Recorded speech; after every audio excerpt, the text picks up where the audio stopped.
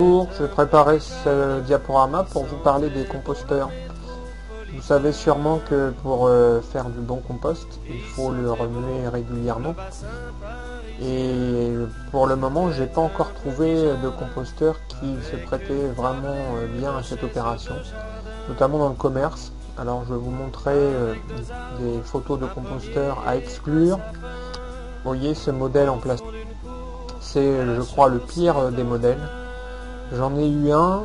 Ce qui se passe quand il est plein et que l'on veut le vider, c'est que l'on essaye de le démonter et souvent le plastique casse parce qu'il a vieilli, parce qu'il est collé au compost à l'intérieur. Donc c'est très difficile d'obtenir quelque chose euh, avec ce genre de modèle.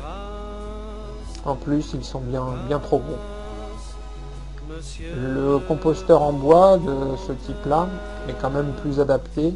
Vous voyez, devant, ils sont quand même plus ouverts et c'est plus pratique pour euh, remuer le compost. Par contre, il reste cette planche devant qui gêne quand même euh, la manipulation. Si on veut le remuer à la fourche, euh, la planche est vraiment gênante. Et si on l'enlève, ce qui se passe, c'est que les, joues du composteur finissent par s'écarter sous la pression du compost. Et après, il est quasiment impossible de la remettre.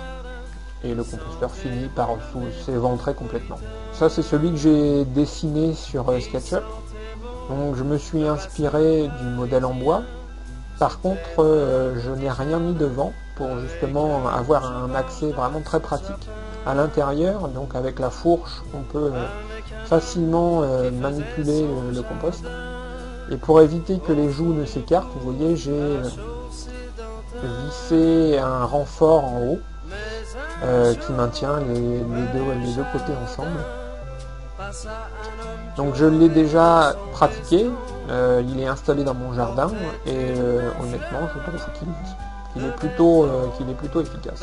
Alors voilà les plans du, du, composteur que j'ai fait, donc il est en bois, c'est des poteaux d'épicéa d'une section de 70 par 70, des planches d'épicéa en 110 par une épaisseur de 20 il faut euh, quelques vis Torx euh, de 12 cm de long et quelques pointes de 4 cm.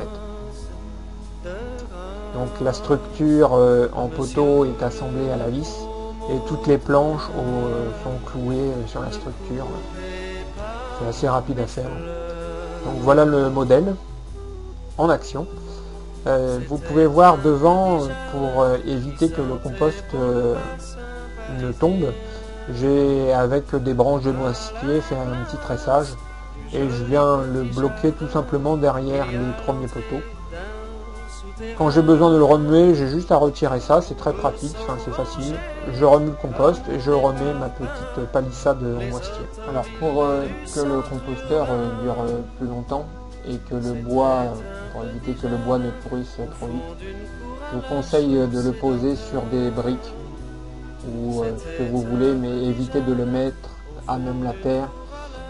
L'humidité va vraiment accélérer la décomposition du bois. Donc dans cette configuration, il a les pieds au sec et il durera plus longtemps.